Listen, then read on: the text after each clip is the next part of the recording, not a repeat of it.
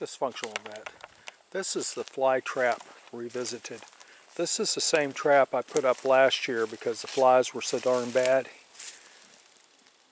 I dumped the flies that were in there out. They were basically just the keratin shell of the of the creatures. As you can see, they were up to here on this jar. I mean, there were lot of them. Had to shake it to get it out. There was very little to no smell in this. Now I've put a new cartridge inside of this and I've added water to it.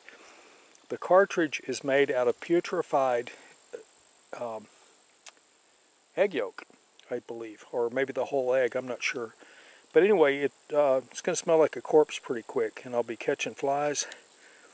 But there's a rule of thumb, and the rule of thumb is do not put meat into your compost pile.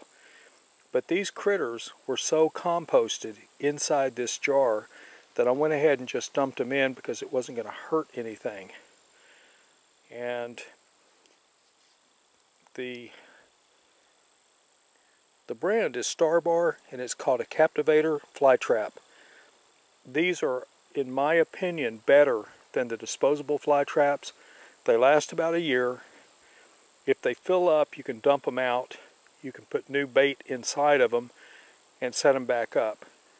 Um, I want to say the price was $8 when I bought these last ones. I don't remember what it was in the past. But the fact that I'm getting more than one year out of them, and the disposable, I only get one use out of them, this is a much better bargain, a better return on your investment. With that said, dysfunctional vet. Oh, wait a minute. I forgot to tell you. You set up a fly trap, you'll never get hungry. You'll always have something to eat.